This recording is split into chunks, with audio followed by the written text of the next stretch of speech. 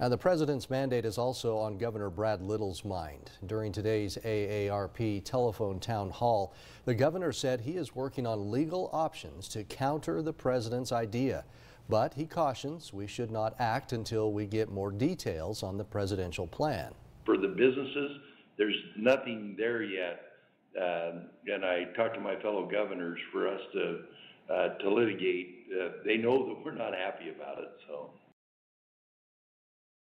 On to say that he is working with his own legal counsel and Attorney General Lawrence Wasden on possible legal options.